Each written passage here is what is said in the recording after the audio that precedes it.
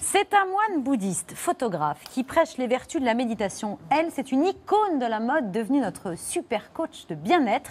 Ils sont venus ce soir avec un immense champion, regardez. Euh, plus doué en plaquage d'ailleurs qu'en yoga. Bref, ils forment un trio totalement improbable. Estelle Lefébure, Mathieu Ricard et Sébastien Chabal sont ce soir nos invités du dîner.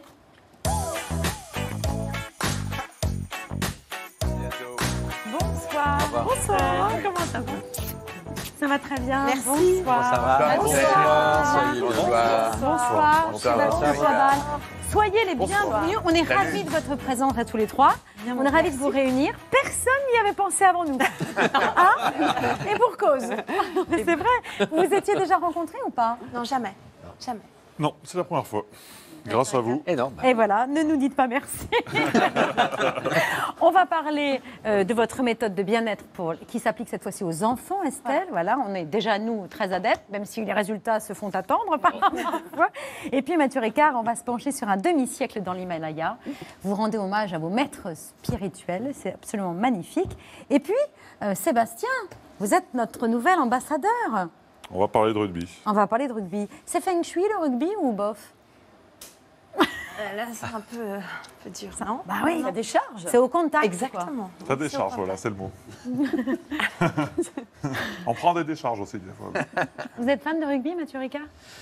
Euh, bah, ça fait longtemps que je suis parti. Là-bas, ils, jouent, ils jouent beaucoup au football, ils font des courses de chevaux, au bout de temps, ils tirent à l'arc. Ah oui. C'est pas encore arrivé, mais on vous attend. Ah oui, on attend C'est un peu en pente quand même. Hein. Avec le ballon ovale, ça va être compliqué. Sébastien, vous êtes donc ambassadeur de la France 2023. C'est-à-dire qu'en gros, vous, vous essayez de convaincre le monde du rugby que c'est en France qu'on doit organiser la Coupe du Monde de 2023. Est-ce qu'on a des chances, Sébastien? On a de très grandes chances. Voilà. Vraiment Il y a- oui, oui, oui, il y a une C'est équipe grande que vous plus, bien plus. Bien plus. Non, non, je crois que euh, l'équipe euh, qui a été mise en place pour défendre le dossier, pour monter le dossier, euh, a fait un boulot assez exceptionnel en un temps record. Voilà, les- la candidature avait été initiée par l'ancienne équipe euh, de la fédération. Il y a eu les élections et la nouvelle équipe est, est- est sur le pied de guerre depuis le mois de janvier. On a rendu le 6 juin, il me semble. On est allé présenter et défendre le dossier euh, en septembre à Londres euh, à Londres. Et, Une sorte et de je pense grand oral. que- Ouais, et, je- et très honnêtement, très sincèrement, si je prends de la hauteur, on a le meilleur dossier. Ah oui tout simplement. Mais c'est un nouveau boulot pour vous, euh, homme politique. euh, c'est quasiment de la politique, ça. Non, c'est pas de la La politique. Voilà, je, je, non je suis pas très diplomate. Ah oui, c'est- marrant, ça m'étonne pas tellement. Et, et j'aime bien gagner, donc on se donne les moyens de gagner.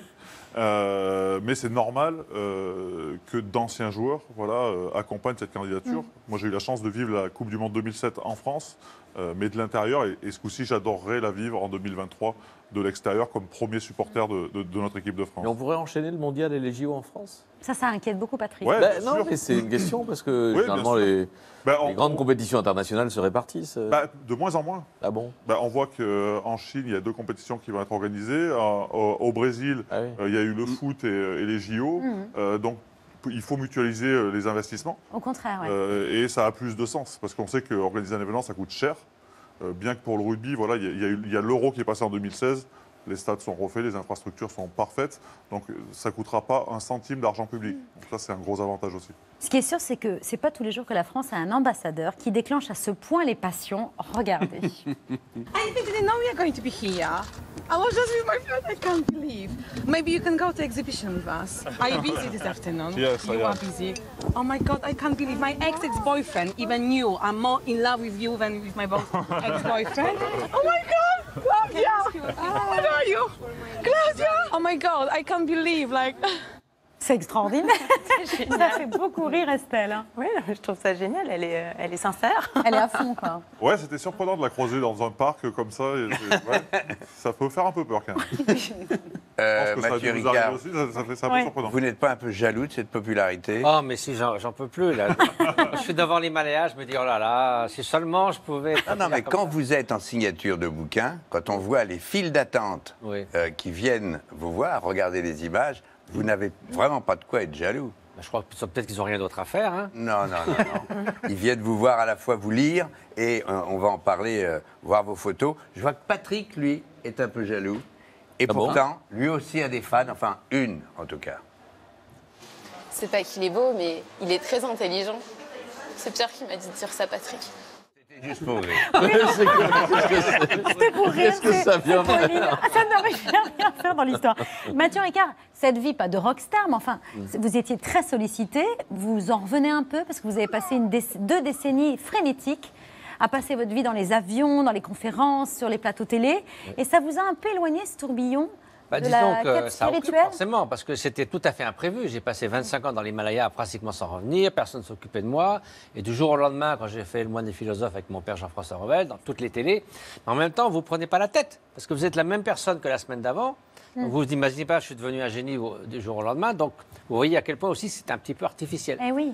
Et en même temps, ça m'a permis de démarrer 200 projets humanitaires. Aujourd'hui, on est 300 000 personnes par an dans le domaine de la santé, de l'éducation, au Népal, en Inde, au Tibet. Donc, il y a, il y a des bonnes choses à tout. Mais c'est vrai qu'aussi, à un certain âge, 25, 20 ans comme ça, bon, je me dis maintenant, je vais passer à un autre chapitre. Vous aussi, Estelle, la méditation, c'était une façon de vous reconnecter à, à l'essentiel, à la réalité, parce que vous aussi, vous avez été embarqué dans un tourbillon. Oui, après, euh, c'est mon métier, mais euh, il y, a, il y a le métier et puis il y a aussi euh, la vie euh, personnelle. Et donc, on a besoin à un moment de se retrouver, de- d'être en pleine présence, d'être vraiment soi et de, voilà, de, de apprendre un petit peu euh, qui on est. Le yoga, vous l'apprenez même aux enfants, c'est ce qu'on découvre dans votre Complètement. livre. Vous pourriez l'apprendre à Sébastien Chabal? Certainement. Je suis un grand enfant. Et voilà. Oui, un très très grand enfant. On va essayer de méditer avec Sébastien Chabal. Vous restez avec nous tous les trois. On va parler de votre passion pour la photographie, Mathieu Ricard. Euh, et puis Estelle, on va voir vos conseils en famille, puisque c'est un bien-être familial que vous nous proposez. On va également recevoir l'idole de toute une génération, le chanteur, guitariste et compositeur du groupe One Direction. Forcément, vous en avez entendu parler, qui a connu un succès planétaire. Niall Horan se concentre aujourd'hui sur un projet solo. Il sera sur la scène de cet amour. Il est hyper attendu. Il y a Hein. de la jeunesse hein, devant le, le studio. Ouais, c'est pas pour Patrick. À tout de suite.